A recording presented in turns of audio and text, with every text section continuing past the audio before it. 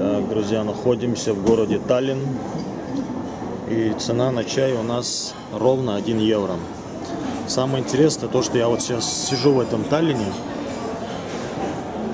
думаю, думаю, думаю, и вдруг я начинаю вспоминать, что раньше, ну что значит раньше, год назад, когда я здесь был, если я не ошибаюсь, конечно, здесь еще не было евро, у них были свои деньги. Вот, и дело в том, что даже вот этот ресторан, в котором мы сейчас сидим, вот это Лидо называется, Лидо, он стал дороже.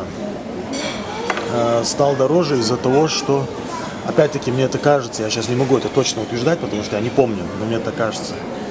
Стал дороже из-за того, что Эстония перешла на евро. Когда она это сделала, получается, то есть в течение вот этого года, полтора, когда я здесь был, я уже не помню, примерно год-полтора назад.